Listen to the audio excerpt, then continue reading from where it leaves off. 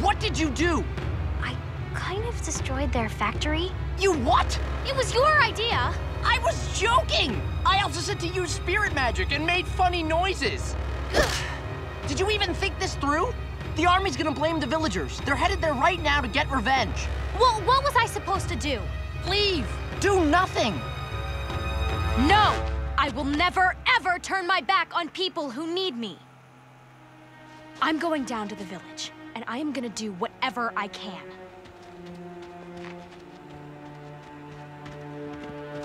Wait! I'm coming too. I thought you didn't want to help. You need me, and I will never turn my back on you. Sokka, you really do have a heart. He really does have a heart, doesn't he?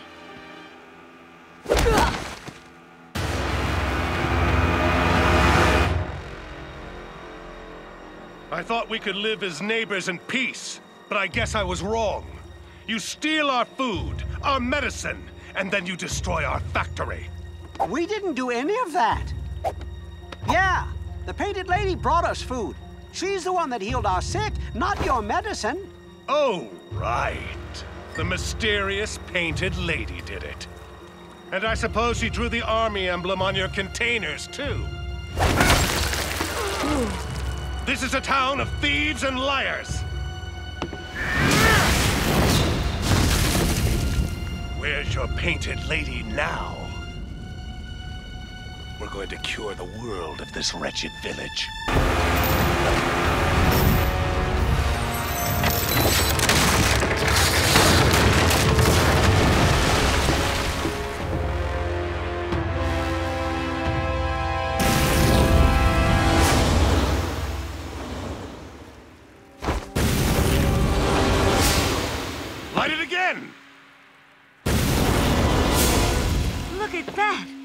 It coming from? I don't know. Something strange is going on. It's the painted lady. She's coming. There is no painted lady.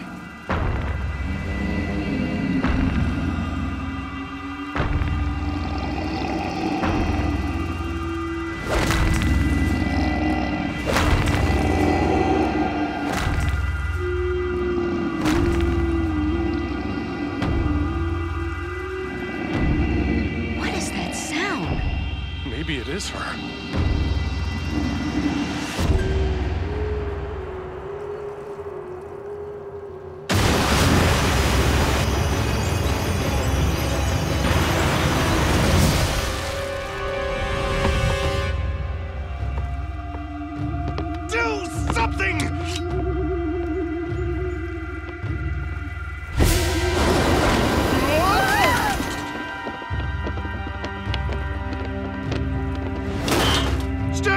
ground!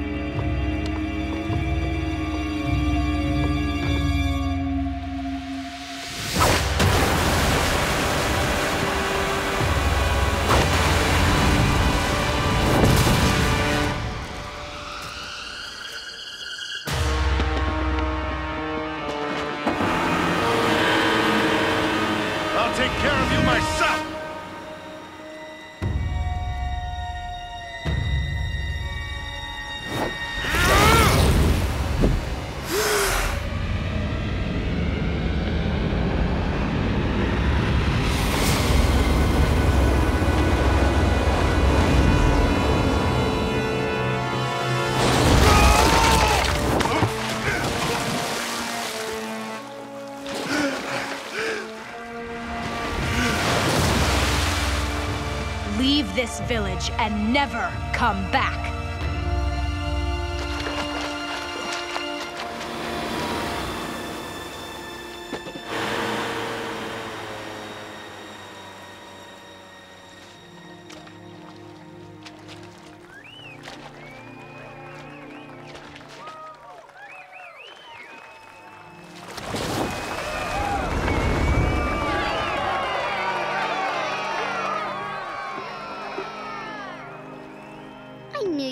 You'd.